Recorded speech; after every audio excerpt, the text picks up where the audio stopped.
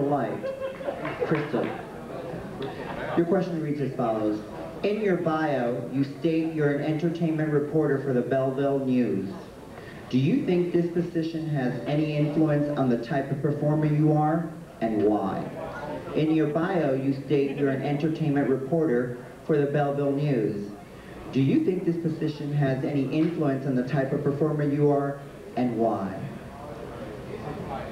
Good evening, ladies and gentlemen, distinguished judges. I am contestant number 27, Khrystal Leight.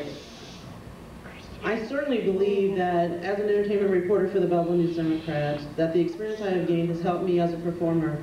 I interview celebrities that come to St. Louis, and from that I feel their enthusiasm and their joy in performing, and I also want to give back to the performers, I mean, I want to give back to the audience as they do.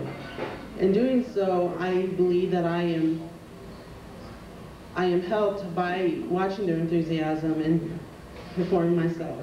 Thank you. Number 13.